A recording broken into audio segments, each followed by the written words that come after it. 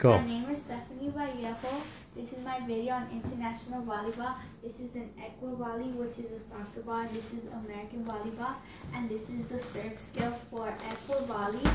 And for American volleyball, this is the serve skill also.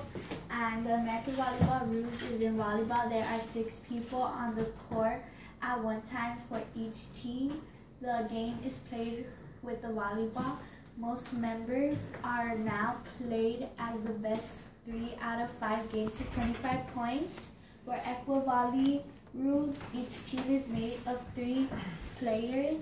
This game is played with a soccer ball. Game consists of two sets of 15 points. If both teams agree, they can play two sets of 12 points with the option of a the breaking set.